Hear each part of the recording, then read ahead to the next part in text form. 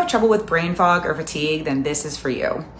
Carbon dioxide, or CO2, is a gas that's created every single time we breathe. CO2 is a natural byproduct of metabolism when our bodies convert food into energy, and one of the things we release in that process is CO2. The more people that are in a room, and this includes people and pets, and the longer the people and pets stay in that room without any fresh air coming in, then the higher the CO2 is going to be in that room.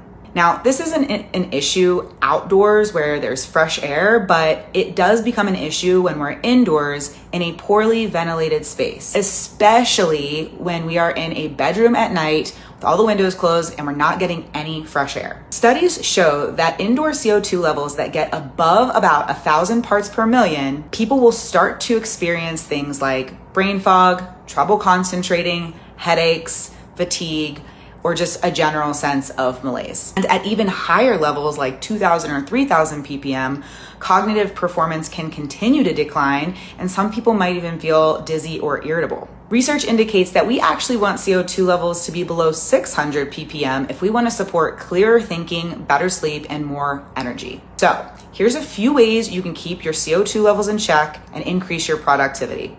The first thing you're gonna wanna do is get a CO2 monitor so that you know exactly what your CO2 levels are in the home.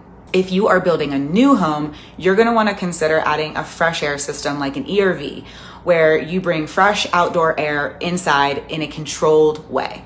If you're not doing any of those things, then you might want to consider opening windows regularly. Even if it's just for a few minutes, this can make a huge difference. So before you start to blame your brain fog on poor diet or bad sleep or something else, be sure to check the CO2 levels where you're sleeping or where you're working because it can have a massive impact on the way that your body feels and how well you perform in that environment.